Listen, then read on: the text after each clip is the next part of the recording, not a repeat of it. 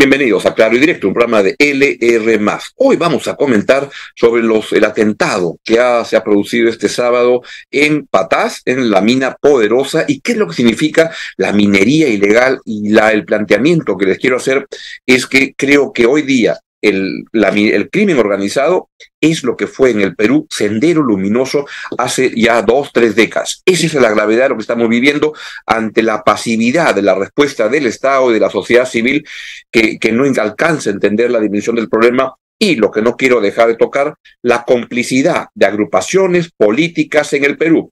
Este crimen organizado tiene representación parlamentaria en el Congreso de la República y ahora que está por conmemorarse el primer aniversario del intento de golpe de Pedro Castillo, recordar que Pedro Castillo fue lo más cercano a la representación del crimen organizado en Palacio de Gobierno, con la complicidad de varias agrupaciones políticas que hoy día siguen este, tratando de meter el tema de el crimen organizado en el Parlamento. Voy a explicarle de qué se trata.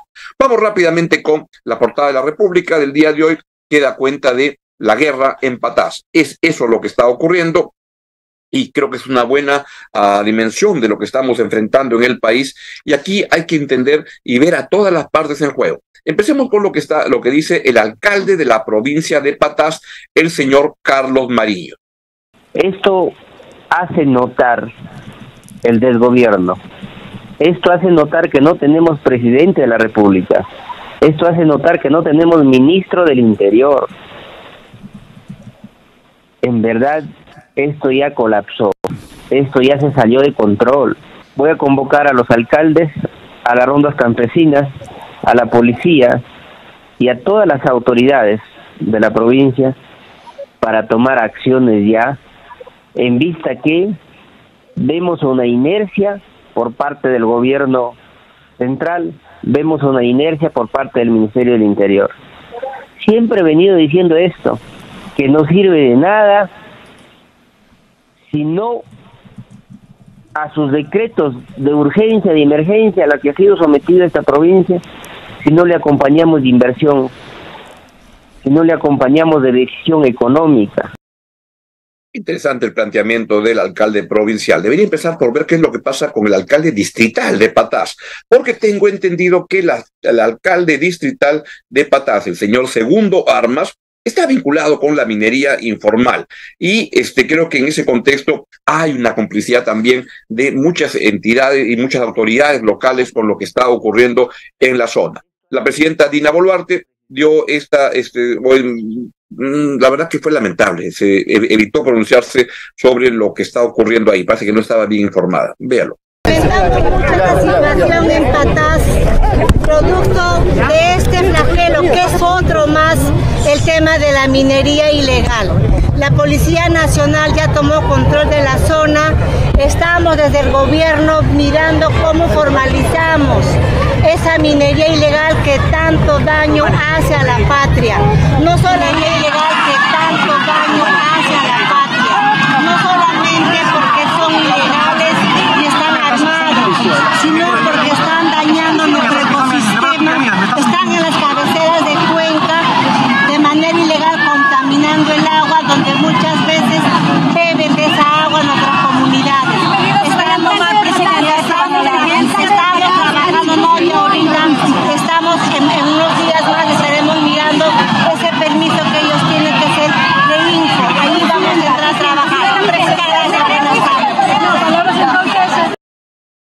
gobierno debería ver es que ha fracasado totalmente estos eh, sistemas de, formalización de la minería informal, ilegal, y lo que tenemos hoy en día en el Perú es que esto es simplemente un biombo para que, para que puedan moverse las mafias vinculadas a la minería ilegal.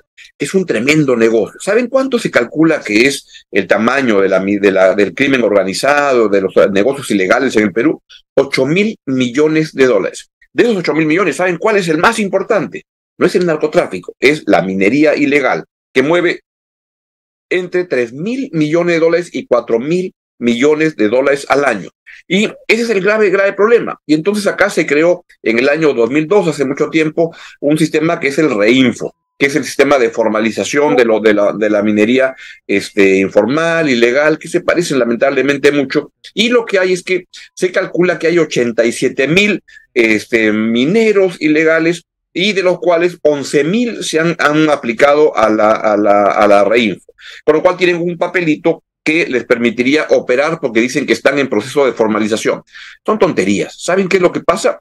De estos, más del 90% no tienen una concesión, es decir, no tienen una concesión directa para, para, desarrollar minería y lo que son simplemente son certificados, biombos que te permiten operar como delincuentes ahí y que además varios de ellos han vencido estos certificados de, de, de Reinfo.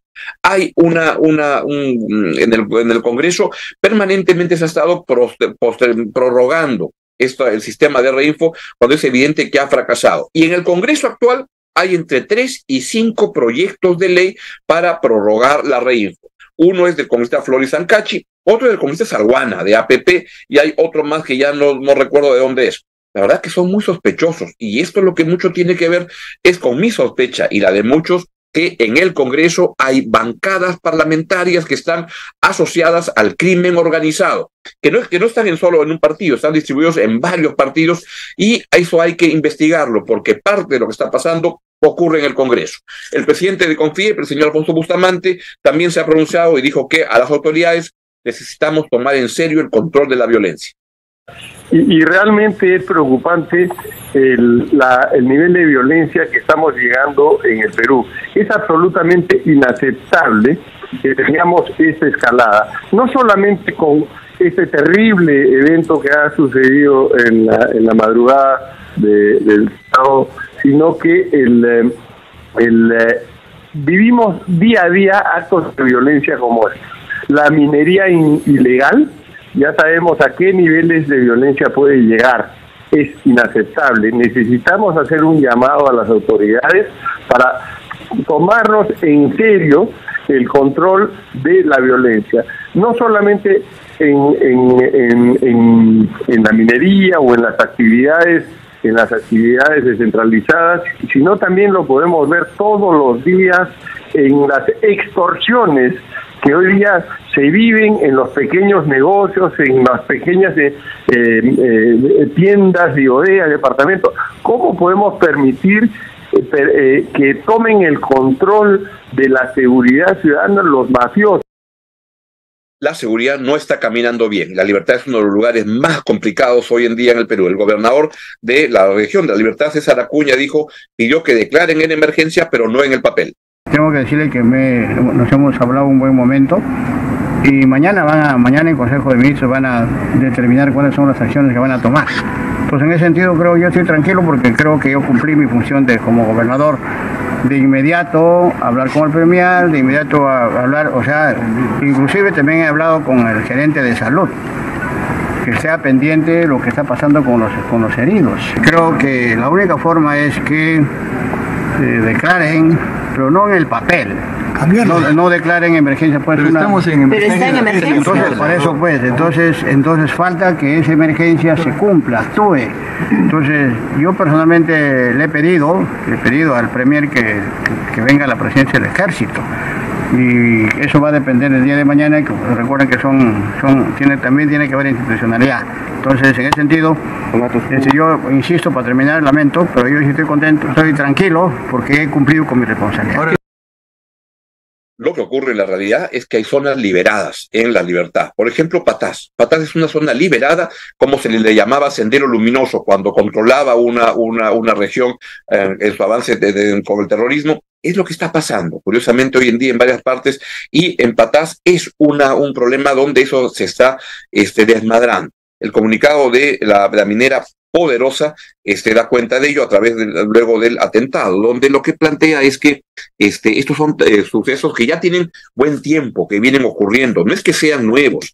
Acá el, la, comunicado de Poderosa, acá lo tengo impreso para poderlo leer, eh, 10 segundos, acá está. Lo que plantea es que a este atentado, en el, que en cual han muerto nueve trabajadores, diez heridos de gravedad y tres con heridas leves, este, está generándose, no es un hecho aislado, sino que responde a una espiral de deterioro de las condiciones de seguridad en la zona, consecuencia de el crecimiento tremendo de la minería ilegal que está coludida con el crimen organizado. En verdad siempre han estado vinculados que han venido operando con la más absoluta impunidad y han parado en ese sistema del reinfo al cual les hacía alusión hace un momento, y en el cual hay congresistas en este momento en el Parlamento pidiendo la prórroga de este sistema que ha fracasado y que es un biombo para favorecer al crimen organizado. De eso se trata y creo que debería investigarse a los congresistas que están proponiendo eso y ver quién financió su campaña para llegar al Congreso, porque me da la impresión que la minería ilegal ha financiado a muchos congresistas para estar en el Congreso. Un tema antiguo, porque esto se ha venido manejando incluso en el gobierno de Pedro Castillo, creo el tema al cual quiero ir luego a, continuación, donde muchos ministros, como la, la Premier Mirta Vázquez, promovió también ese tipo de iniciativas en el cual lamentablemente la izquierda peruana tiene una vinculación emocional con estos temas que debería repensar y cambiar. Perú Libre, para no hablar, es un partido que parece la bancada parlamentaria del crimen organizado. Bueno, su líder, este, el señor Cerrón, está este, prófugo por que fue condenado por ratero. Eso ya da que pensar de dónde estamos. Y entonces es lo que ha pasado y da cuenta Minera Poderosa que ah, ya han muerto antes siete colaboradores y se han volado diez torres de alta tensión, además de destrucción de infraestructura, maquinaria y equipos de emergencia.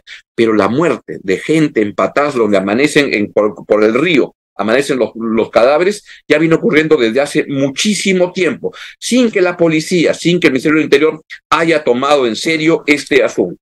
Vamos con, además, el comunicado, vamos con el Ministerio del Interior.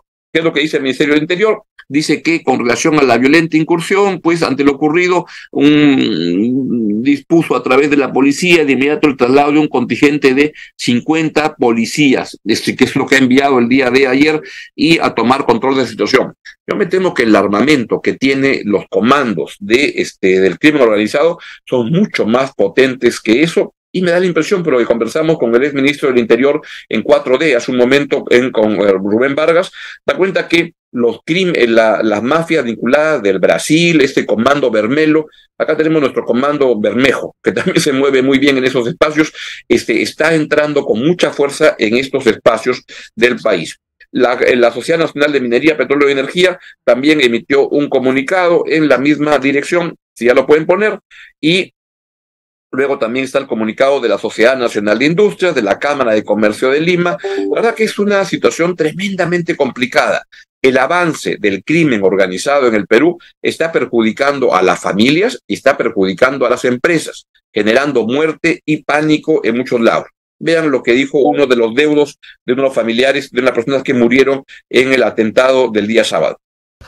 Es lamentable la pérdida de un joven que no merecía esto que pedimos justicia, que era un joven trabajador que buscaba un futuro. Pero lamentablemente no se merece morir de esa manera y pedimos justicia, que no se quede así porque este atentado ya sucedía mucho más antes. Pero el gobierno que hace, se hace la vista gorda, no toman interés. Gente extranjera nos está asesinando diario. Y eso no debe suceder acá en Perú, en todo ya poner. Esto tiene un correlato con la participación política de muchos parlamentarios en este Congreso mediocre y sobre todo corrupto, que han estado avalando y que ahora en estos días han comunicado diciendo que les preocupa lo que pasa con los trabajadores cuando ellos han avalado tanto a ministros de Trabajo vinculados al terrorismo, han avalado la minería ilegal y han avalado esto que está pasando desde hace buen tiempo en el país, pero que con Pedro Castillo se agravó tremendamente. Patás este, se encuentra en estado de emergencia desde el pasado 15 de noviembre. ¿En qué van a cambiar las cosas? Vamos a ver.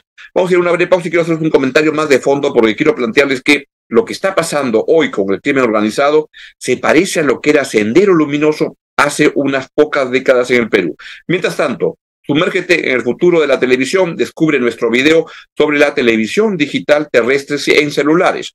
Este contenido es posible gracias al respaldo de Perú Conectado y el patrocinio de American Tower y Movistar. Datazo. Ahora puedes ver televisión en alta definición y con sonido estéreo desde tu celular y sin consumir tus megas.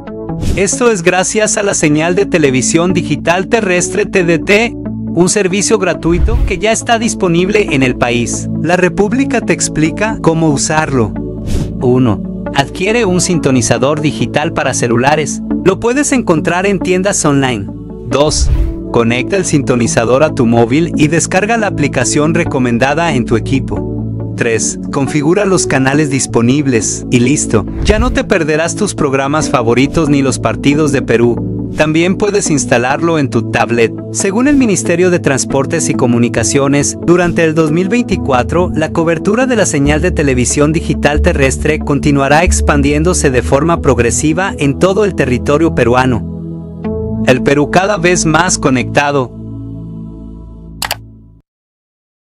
Lo que quiero plantearles como tema de fondo en lo que está ocurriendo es que me da la impresión que hoy en día Sendero Luminoso es, este, eh, Sendero Luminoso es hoy el crimen organizado y tiene una manera de actuar muy parecida. Vuela torres, asesina eh, torres de, eh, eléctricas, asesina personas, es lo que está sucediendo y tiene territorios liberados en el Perú y está desintegrando al país con la complicidad del Estado peruano.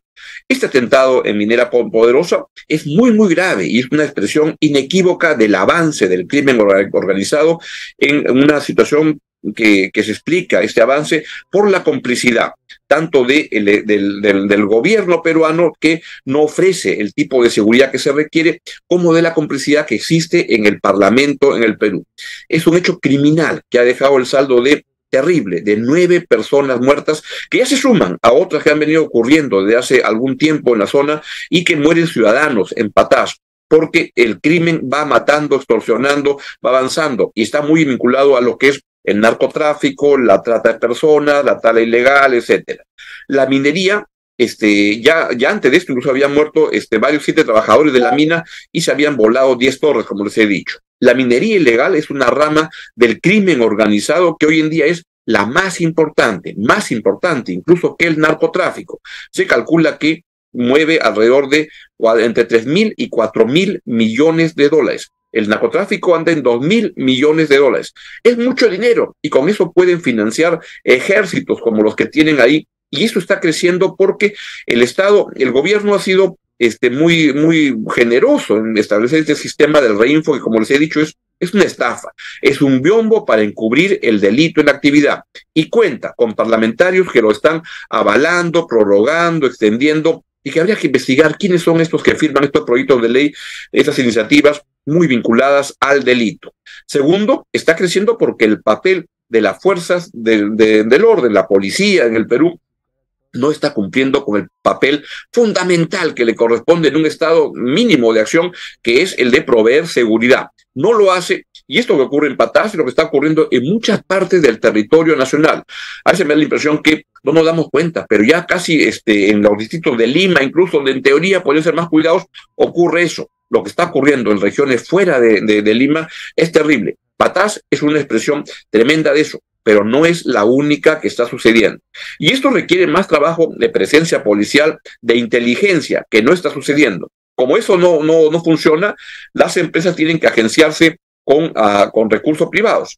Mm, Poderosa tiene una protección privada de 1.200 personas vinculadas a la seguridad de la empresa. ¿Saben lo que es mantener un esquema de 1.200 personas para poder cuidar las operaciones? Es tremendo, pero no se da abasto.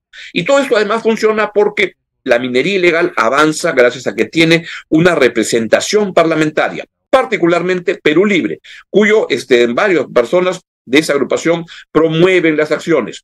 En el gobierno de Pedro Castillo se instaló desde el comienzo, cuando pusieron al premier Guido Bellido como premier, esta era la señal de que la minería ilegal, esta minería de crimen organizado, iba a avanzar con mucha fuerza. Y es lo que ha venido sucediendo. Se nombraron ministros de Energía y Minas vinculados al crimen organizado y es lo que ha estado ocurriendo. La premier Mirta Vázquez, como explicó hace un ratito el premier, el ex ministro del Interior, Rubén Vargas, también avaló, a pesar que se le dijo, se le explicó. Ahí la izquierda tiene que entender que no puede estar en estos contubernios con incuchipandas con el crimen organizado. El crimen organizado hoy, quiero plantearles esto, es el nuevo sendero luminoso en el Perú, que está desintegrando al país, que avanza con zonas liberadas en la minería, en Patás, o por ejemplo en Puerto Inca, en Huánuco, que créanme, es lo que va a ser el próximo Braem, está ahí. ¿Qué hace el Estado peruano? Nada. ¿Por qué? Me parece que está porque es de Siria, pero también porque está infiltrado por el crimen organizado. Y esto ante la pasividad y complicidad del Estado, de la ciudad, de la sociedad civil, de los peruanos. No nos quejemos después de lo que está ocurriendo, porque lo que está ocurriendo es muy grave. Lo que viene puede ser aún peor. De esta manera vamos llegando al final del programa y antes de dejarlos quiero ah, comentarles que vean esta, este, este, esta la, la, historia de Emilio, un arquitecto que diseña el futuro de los colegios del Perú y nos demuestra que la inspiración de un profesional puede venir desde la infancia. Mira esa historia en el siguiente video patrocinado por la Universidad César Vallejo. Hola, soy Emilio Cherinos, arquitecto y gerente general de Grupo AIE una empresa peruana especializada en la metodología BIM para la gerencia de proyectos, elaboración de expedientes técnicos y acompañamiento BIM para la fase de construcción. Actualmente estamos llevando a cabo proyectos tanto nacionales como internacionales. Mi tiempo en la UCB me brindó la oportunidad de realizar prácticas desde los primeros ciclos y de participar en proyectos de gran envergadura. Es crucial comprender que la valía de un profesional radica en la responsabilidad que tiene hacia los proyectos. Mentalidad que se fortaleció durante mi etapa en las aulas de la Universidad César Vallejo.